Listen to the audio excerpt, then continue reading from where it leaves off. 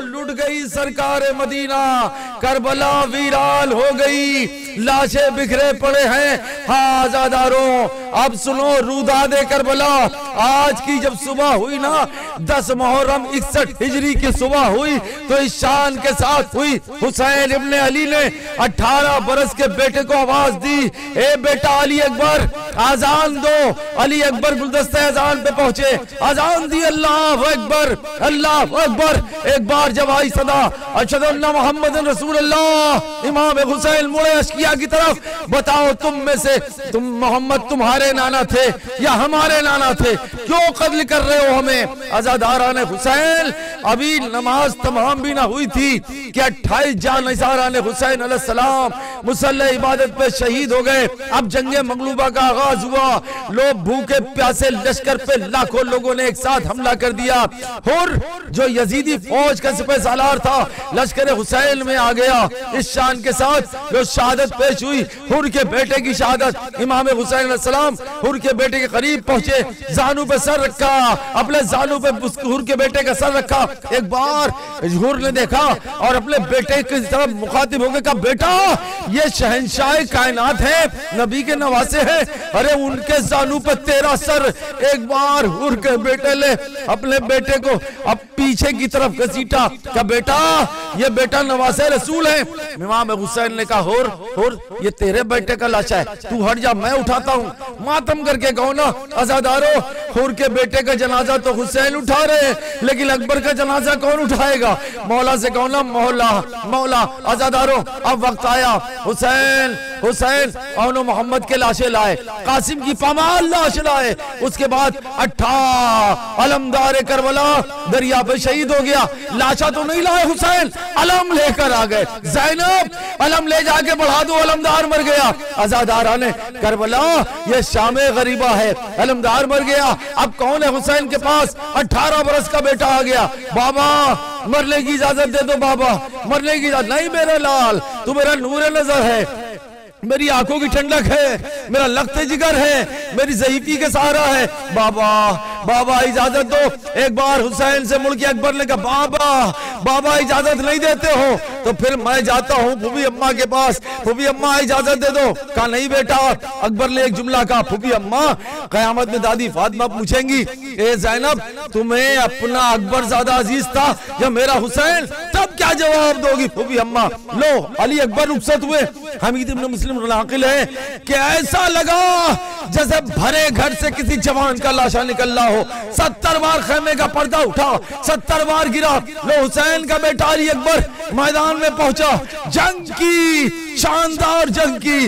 बाप की खिदमत में पलट कर आए। बाबा, मैंने कभी कुछ नहीं मांगा। कहा, बेटा, क्या मांगना है? कब बाबा, एक कूजा पानी दे दो।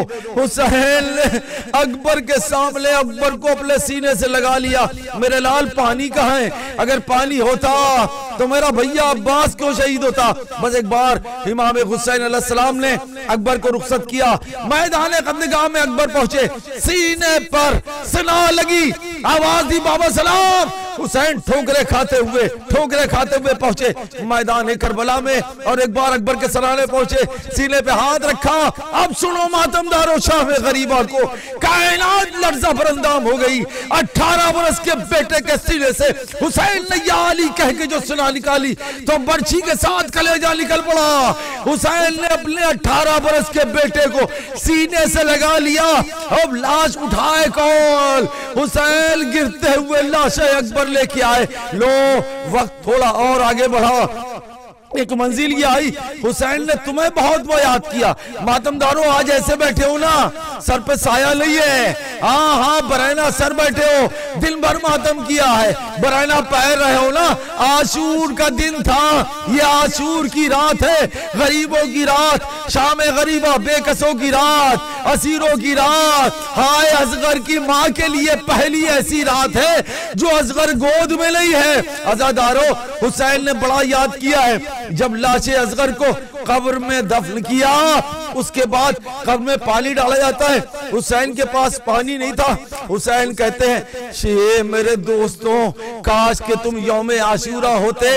अपनी आँखों से देखते कि तेरा, तुम्हारा इमाम कितना मजलूम था। उसके बच्चे की कब्र पर डालने के लिए उसके पास पानी नहीं था। अल्लाह अकबर। लो अब हुसैन तनहा रह गए। ना कस, ना लश्करे, न सिपाहे, ना कसरतुल नासे। Hey! ना कासिमे ना अकबरे ना अब्बासे हुसैन तनहा है, तनहा इस तरह से कि शाम के फौजों ने नबी के नवासे को घेर लिया। कोई नजा मारता, कोई तीर मारता, कोई तलवार मारता, कोई तबर मारता। अरे जिनके पास कुछ नहीं था, वो पत्थर मारते। हाय बेकसी हुसैन की, हाय बेकसी हुसैन की। लोग पुछते पे डगमगाने लगा, नबी का नवासा। रुदास सुन रहे हो ना, करबला की? आज की रुदास सुनो, नबी का नवासा डगमगाने लगा। घोड़े पर जब डगमगाने लगा, हाय हाय, कभी दाहिनी जाने मुल्के का, आईना आईना अली अकबर कभी भाई जाने मुल्के का, आईला आईला बुलबुल अब्बास, मेरे बेटा आओ मुझे उतारो, मेरे भैया आओ मुझे उतारो। कौन था? अब मंजिल ये आ गई कि जल्लाद आस्तीन चढ़ाता हुआ चला, खंजर पे उंगलियों को फिराता हुआ चला, मजमे के रास्ते से हटाता हुआ चला अरकान अर्शी हक को हिलाता हुआ चला। अरे मैं क्या बताऊँ? पाँव रखा किस मुकाम पर? फटता है सीना हाल शहे तशना काम पर। रूहे रसूल कहती थी, जल्लाद रहम कर। ये सीना मेरा सीना है, ये सर है मेरा सर। तू बैठा है हुसैन दिलावर के सीने पर। ये लौटता था तेरे पैम्बर के सीने पर। इस लम्हे पे भी अर्श को उसने हिला दिया। खंजर को बोसे गाहे नबी से मिला दिया। अरे मैं क्या बताऊँ? पाँव रखा किस मकाम पर? फटता है सीना हाल शहे तशना काम पर मिर्ज़ा साहब ने एक दूसरे मरसिया में एक बंद कहा है कि फिर मुड़ के जेर तेग ये बोले, शाह उमम, जैनब तुझे गरीब ये शब्बीर की कसम, बिठला मेरे यतीमों को खेमे में एकदम, अरे बढ़ता है ध्यान, महवे जमाले खुदाए हम, बच्चों को लेकर ढेवड़ी से, जैनब तो हट गई, यहाँ बहुत से गाय अहमद मुख्तार कट गई। लोग करबला में शाम आ गई। शाम गरीबा, गरीबों की शाम। तुम्हारे साथ ले आवाज़ दी। अभी कोई अपने अपने घोड़े से ना उतरे। का हाकिम क्यों? का घोड़ों में नई नाले लगवाई जाए। अल्लाह अकबर, घोड़ों में शाम गरीब अहला घोड़ों में नई नाले लगी। उसके बाद कहते, क्या करना है? सिपाही कहते, क्या करना है? का बहत्तर लाशों को लिटा दो और उनको पामाल करना है। उनका कबीला नाराज़ हो गया। लाशें उनको नहीं पामाल होने देंगे। अरे बुरैर का कबीला आगे बढ़ा। बुरैर की लाश नहीं पामाल होने देंगे। एक एक कबीला आगे बढ़ता। एक एक लाशें को उठा ले जाता। हाँ उसके बाद कहता है मेरे साथ, कोई और लाश बची है? सब कहते हुसैन इब्ने अली की लाश। का बीच मैदान में लिटा दी जाए। हाय घुड़सवारों ने लाश हुसैन पामाल कर दी। हाय सकीला क्या करे? हाय बाबा, बाली पर फातिमा फरियाद करती रही। मेरा बेटा नाजों का पला है। आजादारो आजादारो हाँ मंजिल तमाम हो रही है। शाम गरीबा हेला, अंधेरे में बीबियाँ बैठी हुई है। जली हुई कनात में जैनब ने एक एक बीबी को जमा करना शुरू किया। एक एक बीबी को जमा करना शुरू किया। आजादारो इतने में देखा, एक नाका सवार चला आ रहा है, एक नाका सवार चल, एक जुमला और सुन लो, एक जुमला और सुनो। सब बच्चों को जमा करने के बाद देखा, उन बच्चों में सकीना नहीं है, बहनों में गुलसूम सकीना को तुमने देखा, कहा, नहीं, अरे मेरी सकीना कहाँ चली गई? अब ये दोनों बीबिया अली की दोनों बेटियाँ नबी की नवासिया मख्तल की तरफ़ चली। आवाज़ देती हुई आईना आईला या बुलैया मेरे बच्चे, कहा हो? आवाज़ दो। बस एक बार एक बार, एक नशेब से आवाज़ आई। जैनब, आहिस्ता बोलो सकीला तक के सो गई है सकीला तक के सो गई है। अब सकीला पहुँची जनाब जैनब, क्या देखा? एक लाशों के करीब सकीला बैठी। लाशों के कदमों के पास सकीला बैठी हुई, आग लग गई। एक बार उठाया सकीना उठ जा। चल सकीना चल मेरे साथ। अल्लाह अकबर सकीना को लिया वापस आने लगी। रास्ते में उम्मे कुलसूम ने कहा, ए बहन जैनब, जितने शहीद हुए सबके लाशों की जियारत हो गई। मौला हुसैन के लाशे की भी जियारत हो गई। एक लाशा और रह गया। बहुत रोगे मातमदारो एक लाशा और रह गया। का किसका?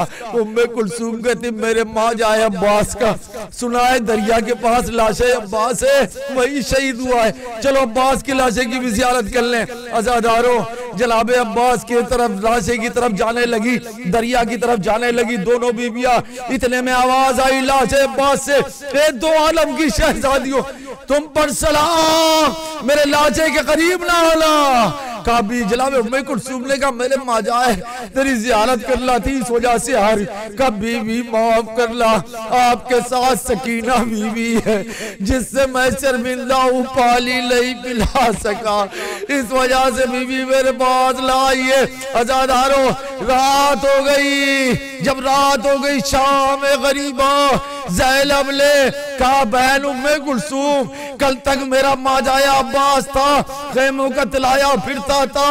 आज अब्बास लई है।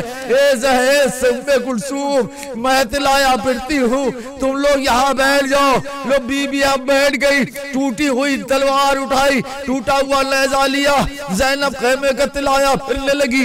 इतने में नज़र पड़ी कि दूर से एक सवार चला आ रहा है। एक सवार चला आ रहा है। जैनब की नज़र पड़ी। आवाज़ दी। सवार ठहर जा, सवार ठहर जा। लेकिन सवार रुका नहीं, काहे पहचाना नहीं? मैं अली की बेटी तुझे रोक रही हूँ। तू रुकता नहीं है। सवार फिर भी आगे बढ़ता रहा। एक बार जब सवार करीब आ गया लजा में नाका पर हाथ डाला सहलब ले और कहा, ए सवार, सुन, मैंने आधा ता रुक दिया था। मैं अली की तो बेटी हूँ, लेकिन तू जानता नहीं, मैं अब्बास की बहन हूँ। भाई सुन रहा था एक बार नकाब ले, सवार ले ले। नकाब हटाई। अब जो नकाब हटाई, एक ही जुमला का जैलब तुमने बुलाया था तो मैं आ गया। हाँ जैलब पुरसा ले लो। पुरसा ले लो भैया का। रबाब को बुलाओ असगर का पुरसा दैला को बुलाओ, अकबर का पुरसा फरमा को बुलाओ, कासिम का पुरसा। एक एक बीविया आ रही थी पुरसा देते मौला। उसके बाद का सके जैलब सकीना को बुला दो। सकीना, एक मुकाम पर गश में थी। उठाया, उठो, जब दादा आया है हाँ हाँ बुला रहा है। सकीला ने एक जुमला कहा ए दादा, मुझे एक बात का यकीन हो गया कि बाप बेटी से बड़ी मोहब्बत करता है। मेरे दादा, आपकी बेटी ने आपको बुलाया, आप आ गए, लेकिन असरे आशूर को मैं पूरे मैदान में दौड़ती फिर रही थी। कोई है जो मेरे बाबा को बचा ले, लेकिन कोई बचा ले नहीं